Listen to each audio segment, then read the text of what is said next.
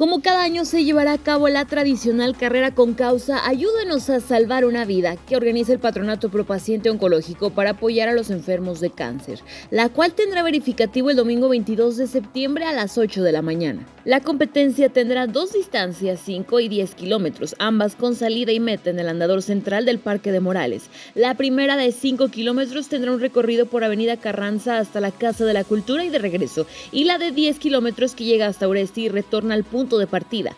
Cabe mencionar que es más una convivencia que una competencia, por lo que no hay categorías. Además, pueden completar las distancias corriendo, trotando o caminando. Cabe destacar que en este 2024 el patronato cumple 40 años de apoyar a niños y adultos en sus tratamientos contra el cáncer, en una labor que requiere del apoyo de todas y todos, ya que lo que se recauda en donativos, inscripciones y ventas de alimentos se va directo a quienes padecen de leucemia.